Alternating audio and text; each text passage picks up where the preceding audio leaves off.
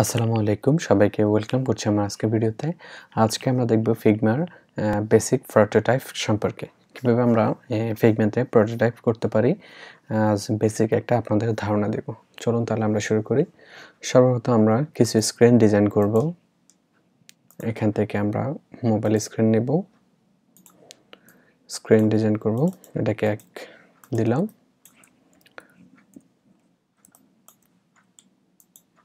আমি আমার মতো করে জাস্ট ডিজাইন করে নিচ্ছি।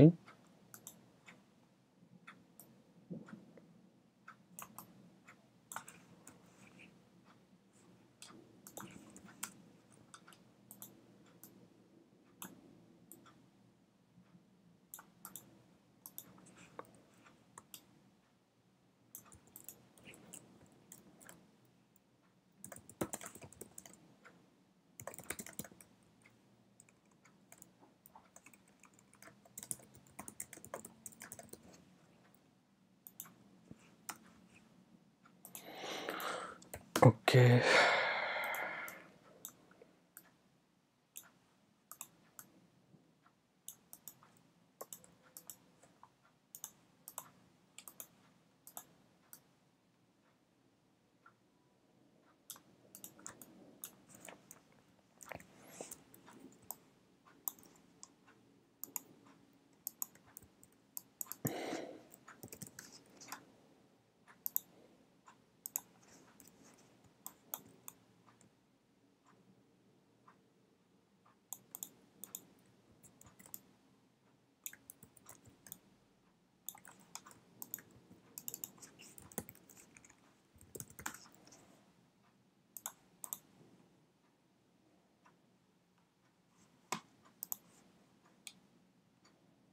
আমি আমার মতো করে এখানে একটা বোঝানোর জন্য আপনাদের একটা বেসিক একটা ডিজাইন দিচ্ছি।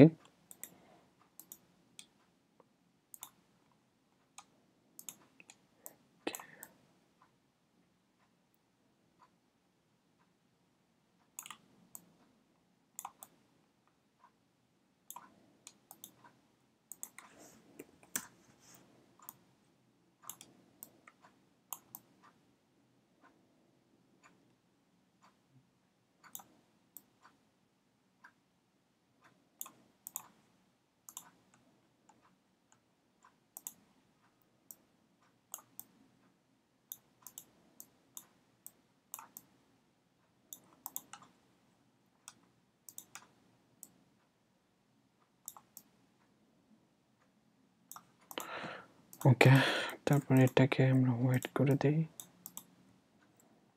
এটাকে একটা কালার দিই।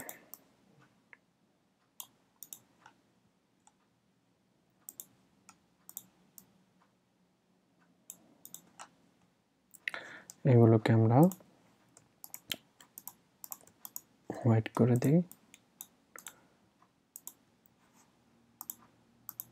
এরপর আমরা এটাকে ডুপ্লিকেট করি। তিনটা।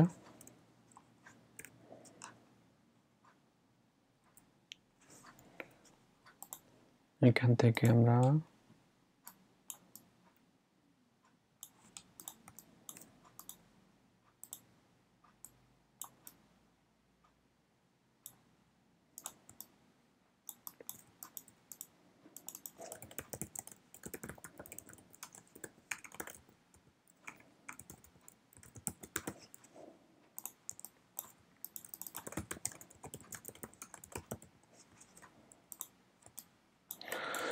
ওকে এখানে। তারপর আমরা এখানে প্রথম এটার একটা কালার দিব।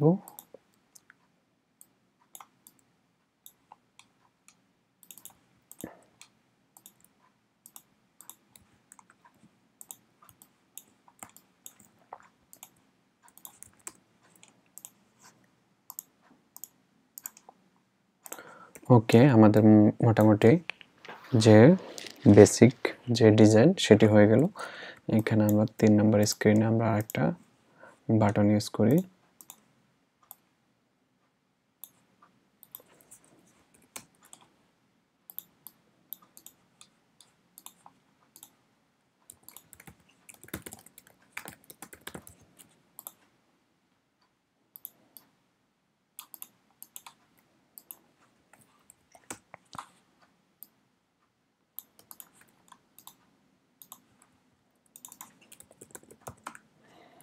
ওকে এখানে তিনটে স্ক্রিন হলো। এখন আমরা এটিকে একটি বেসিক প্রোটোটাইপ করব। সর্বপ্রথম আমরা স্ক্রিনটি সিলেক্ট করব। তারপর এখানে আপনারা দেখতে পাচ্ছেন, এখানে রাইট ডিজাইন তারপর প্রোটোটাইপ এখানে প্রোটোটাইপে আমরা ক্লিক করব। এখান থেকে প্রোটোটাইপ আমরা যে ডিভাইসে প্রোটোটাইপটি দেখতে যাচ্ছি সেই ডিভাইসটা এখান থেকে আমরা সিলেক্ট করতে পারব। তারপর এখান থেকে আমরা কালার সিলেক্ট করতে পারব। আপনার চাইলে ব্যাকগ্রাউন্ড কালারটা এখান থেকে সিলেক্ট করতে পারবেন। ব্ল্যাকে রাখলাম। এখন আমরা চাচ্ছি এই যে স্ক্রিনের সাথে আমরা আমরা প্রোটোটাইপিংটা এখন আমরা শুরু করব। সেটার জন্য যেটি করতে হবে সর্বপ্রথম আমাদের, প্রথমে আমাদের এই যে আমরা চাচ্ছি এখানে এটি ট্যাপ করলে আমরা পরবর্তীতে স্ক্রিনে যাব। নেক্সট স্ক্রিনে যাব। তো সেটার জন্য আমরা এটা সিলেক্ট করব। এখানে আপনারা একটা ফ্লাস সার্কেল দেখতে পাচ্ছেন। এটা ফ্লাস এখানে ড্র্যাগ করে আমরা সেকেন্ড স্ক্রিনটাতে আমরা কানেক্ট করে দেব। তারপর এখানে দেখতে পাচ্ছেন কিছু অপশান চলে আসবে। এটা দেওয়ার পরে এখান থেকে অন ট্যাপ অন ট্র্যাক আমরা এটাকে অন ট্যাপ রাখব। অন ট্যাপ রেখে এখানে নেভিগেট টু কোথায় যাবে? নেভিগেট টু আমরা দুই নম্বর স্ক্রিনে যাব মানে দুই নম্বর ফ্রেম এখানে ফ্রেমের নামগুলো দেওয়া আছে, আমরা দুই নম্বর ফ্রেমে যাব। তারপর এখানে একটা আমরা অ্যানিমেশন চাইলে আমরা এখান থেকে অ্যানিমেশন দিতে পারি। আমরা স্মার্ট অ্যানিমেশনটা দিয়ে দিই। এখানে ইজ ইন অ্যান্ড আউট এটি দিয়ে দিই। তারপর এখানে সেকেন্ড কতগুলো সেকেন্ড আপনারা দেখতে চাচ্ছেন, এটা আমরা পাঁচশো মিলি সেকেন্ড দিলাম। তারপরে এটা ক্লোজ করলাম। তারপর আমরা এখান থেকে এই থার্ড স্ক্যানে যাব সেকেন্ড সেকেন্ডটাতে যখন আমরা ট্যাপ করব, তখন আমরা থার্ডে যাব।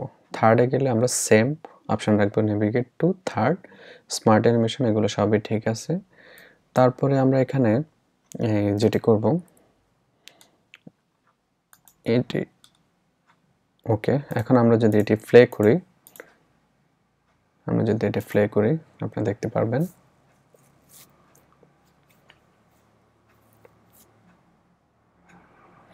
এখানে আমরা যদি ট্যাপ করি, আমরা দেখতে পাচ্ছেন সেকেন্ড স্ক্রিনে চলে আসছে। তারপর আমরা এখানে সেকেন্ড স্ক্রিনে যখন ট্যাপ করছে, তখন থার্ড স্ক্রিনে চলে আসছে। কিন্তু থার্ড স্ক্রিনে আমরা কোনো প্রোটোটাইপ সেটিং করিনি, তাই এখানে কিছু হচ্ছে না। চলো আমরা পরবর্তী অপশানগুলো দেখি। এখন এখানে এই যে যে সার্কেলটা সে এই সার্কেলে যখন আমরা ক্লিক করব সেমভাবে আমরা সেকেন্ড স্ক্রিনে যাব। এটিও tap on tap navigate to two তারপরে এখানে থার্ডটাতে যদি আমরা সেকেন্ডটাতে সেকেন্ড সার্কেলে যদি আমরা ট্যাপ করি, এখান থেকে সেকেন্ড যে সার্কেলটি সেটিতে ট্যাপ করলে আমরা সেকেন্ড সেকেন্ডটাতে ক্লিক করলে সরি এখানে এটা, এটি বাদ দিই।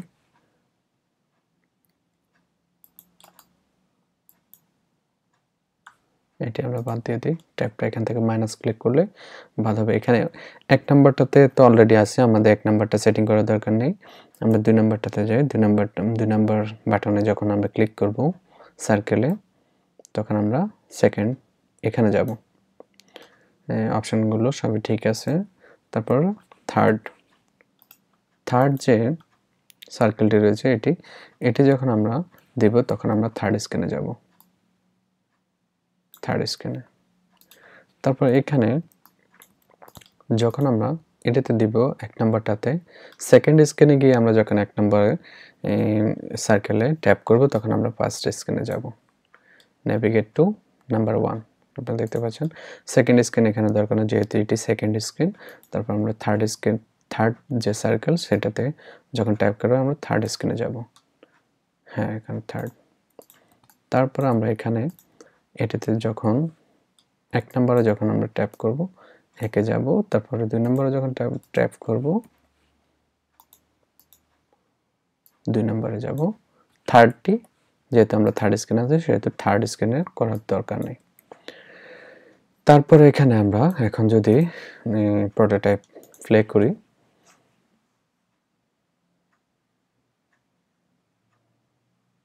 আপনারা এখানে আমরা যদি ট্যাপ করি দেখতে পাচ্ছেন, ট্যাপ হচ্ছে। এখানে আমরা যদি বাটনে যে সার্কেলে ক্লিক করি, দেখুন। আমরা যাচ্ছি এক নম্বরে যেতে, এক নাম্বার দুই নাম্বার তিন নাম্বার আবার যদি একে যেতে যাচ্ছি, এভাবে আপনারা চাইলে খুব সহজেই এই প্রোটোটাইপিংটা করতে পারেন। এটা জাস্ট একটি বেসিক একটি ধারণা আমি আপনাদেরকে দিচ্ছি। সো আজকে এই পর্যন্ত থাকলে। আমাদের পরবর্তী নেক্সট ভিডিও এখানে আমরা কীভাবে মেনু অ্যাড করতে পারি, সেই অপশানটি আমরা দেখব।